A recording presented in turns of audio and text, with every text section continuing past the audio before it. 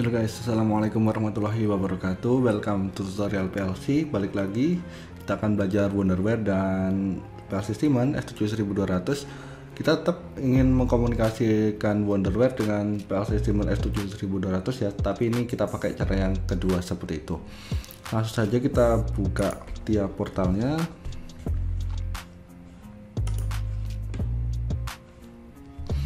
Sambil nunggu buka tiap portal, saya akan tunjukkan ini ya untuk device yang saya gunakan hmm, kurang lebih masih sama ya. Nah teman-teman bisa perhatikan ini device nya nanti kita akan coba monitoring ini deh. Tombol emergency kemudian tombol start sama ada satu lampu ini kayak gitu. Kita akan monitoring ini. Oke kita buat project baru ya. Hmm, S7 1200 ini. Kemudian create filenya oke kita ke project view. Kita akan tambahkan PLC terlebih dahulu ya.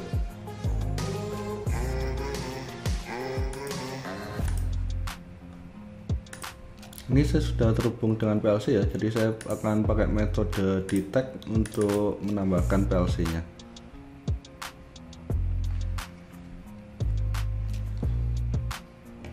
Oke sudah selesai saya tambahkan PLC nya kita setting sekalian untuk akses protectionnya ya.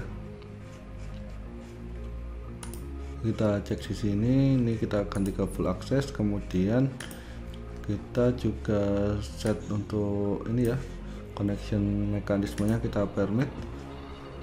Kemudian kita akan buat tag terlebih dahulu nah untuk tombolnya itu addressnya kita kasih tag name nya pp1 addressnya ini kita pakai i0.1 eh, i0.2 ya. 0.2 kemudian pp2 ini kita pakai i0.0 kemudian kita pakai pp3 juga ya. Tapi ini dari wonderware nya nantinya. Jadi kita pakai memori misalkan M30.0 kayak gini. Kita pakai PB4 juga. Untuk lampunya kita hanya pakai satu ya. PL1 ini kita pakai alamat G0.1 ini address sesuai dengan wiring. Dan dua address ini untuk di Wonderware nantinya. Oke kita buat programnya ya. Program sederhana seperti biasanya. Save holding.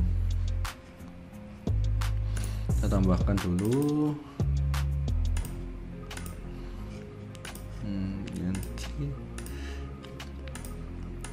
tapi tabuldinya tombol on dan off nya itu ada dua kayak gitu.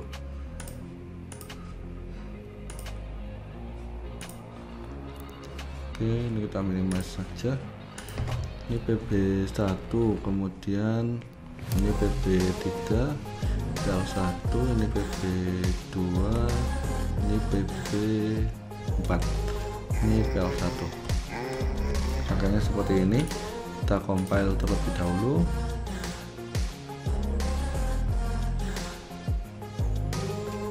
Oke kalau udah kita download ya.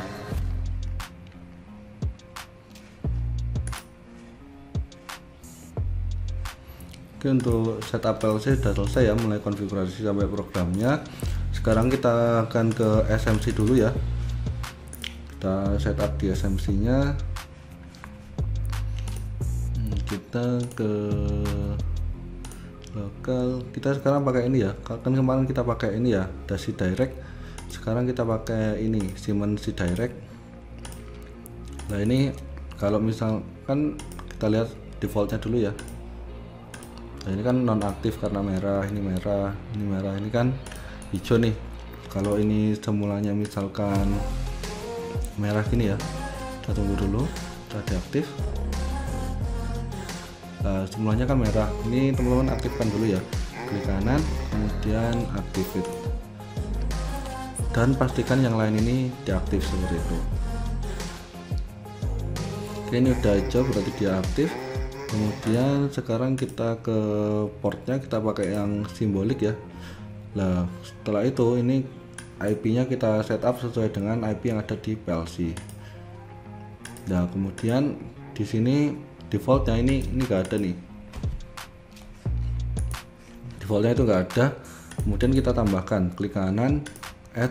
Nah ini topiknya kita mau setup apa misalkan Siemens. Siemens. Kayak gini. Kemudian ini kita setup ya untuk interval update nya misalkan 200 milisecond. Ini juga bisa. Oke udah. Kayak gini sekarang langkah selanjutnya kita ke Wonderware.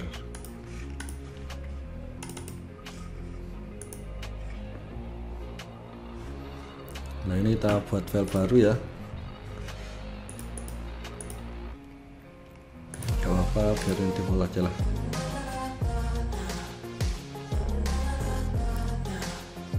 Oke udah keluar filenya. Kita klik dua kali. Dia akan open untuk InTouch window maker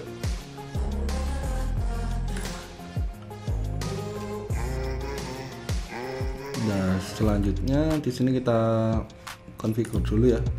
Akses namanya kita buat dulu. Misalkan akses satu kayak gitu. Kemudian application namanya ini kita samakan dengan ini nih. Dengan topik yang ada di device group kita copy. Kemudian ini kita eh sorry salah. Kita ke Windows Run. Kita ke service.msc nah, kita cari si direct. Kenapa si direct? Karena sorry. Karena di sini teman-teman bisa perhatikan ya ini kan sidir tahu si direct. Jadi kita uh, ambil ininya untuk mengisi applicationnya nah kita cari di sini di service sidir lah. Ini kita ambil sidir ini ya. Kita copy oke. Ini pastikan dia running ya running. Kemudian ini kita paste di sini sidir kemudian untuk topiknya ini baru kita ambil dari sini nih. Kita ke port kita ke simbolik dan kita ambil dari Siemens ini kita copy. Nah ini kita paste oke untuk akses namanya sudah kita buat. Sekarang baru kita buat untuk ininya nih. Untuk window controllernya misalkan Windows 1 oke kita tambahkan tombol ya. Tambahkan tombol ini kita rename dulu. Substitute string pv3 eh salah pv3 kemudian kita copy paste. Pv4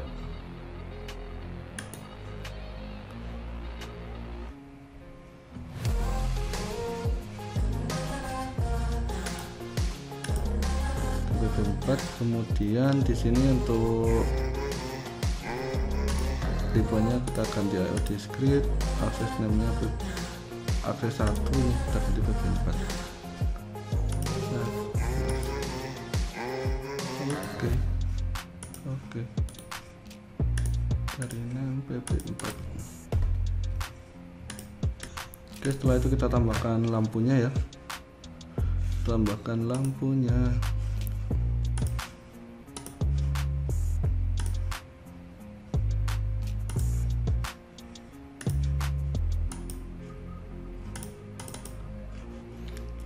ini kita ganti PL1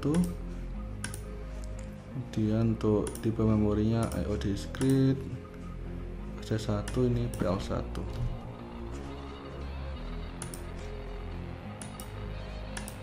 nah selanjutnya untuk PB1 dan PB2 kita input keterangan aja ya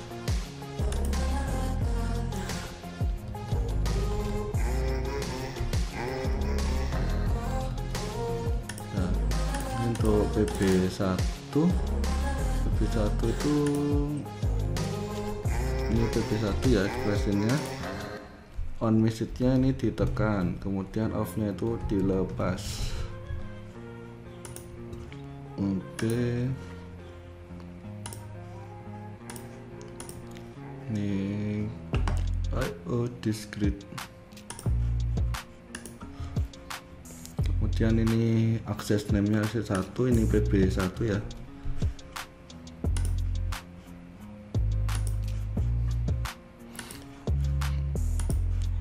Ini kita hapus saja kita duplikat dari PB1 biar lebih cepat.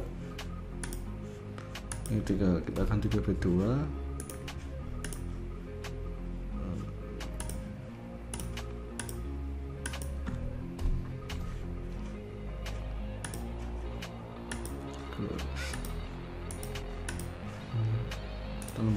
ya di sini PV1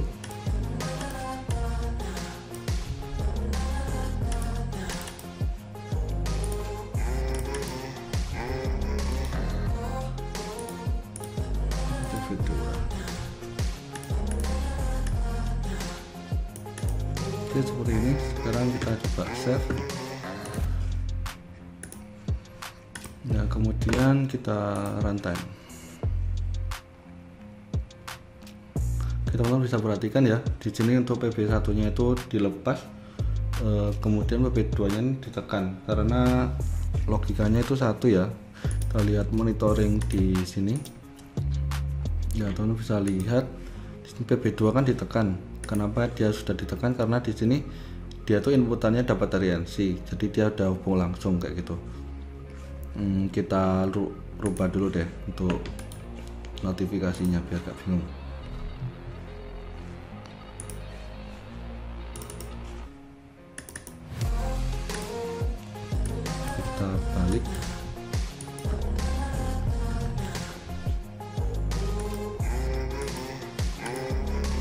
oke kita set kita runtime lagi.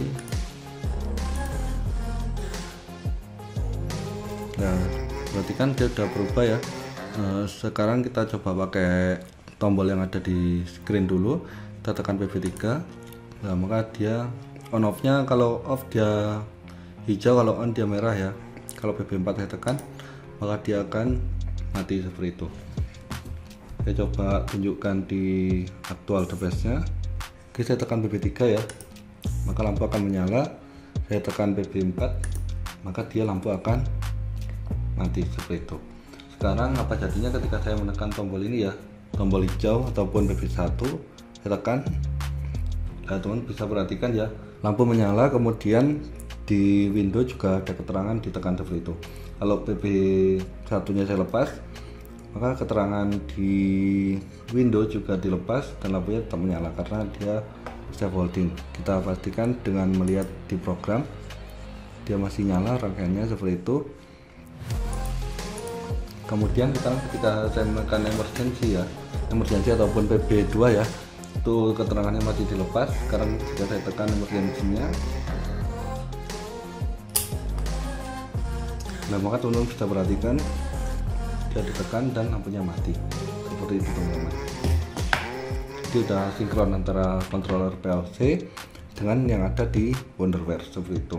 Oke mungkin cukup sekian ya tutorial kali ini. Semoga bermanfaat. See you on the next tutorial. Wassalamualaikum warahmatullahi wabarakatuh